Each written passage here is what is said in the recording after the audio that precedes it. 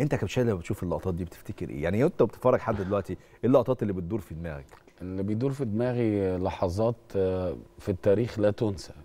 زي ما انت بتقول يعني مثلا تخيل ان انت الجيل اللي بتتكلم عليه أنا كنت قبليه بست سنين في النادي الأهلي. بس كان في إحلال وتجديد. يعني أنا مش اللعيبة اللي حضرت آه، كابتن صالح سليم كرئيس للنادي وحضرت آه، مجموعة المحترمة اللي الواحد اتعلم منهم برضو حب النادي الأهلي زي كابتن حسام حسن وكابتن إبراهيم حسن صلاح الدين هادي خشبه هشام حنفي علي ماهر.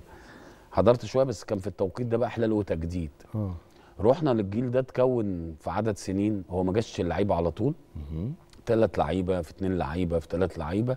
ثم تيم بيتسيد أفريقيا آه، طموح إخلاص رجولة إحساس بالمسؤولية إحساس ب- ب- بقيمة جماهير النادي الأهلي وتيشيرت النادي الأهلي اللي لازم تضحي علشانه عشان حتى في في تفكير اللعيبة والإدارة و- و- وحتى الجهاز الفني بنقل لك صورة حقيقية يعني.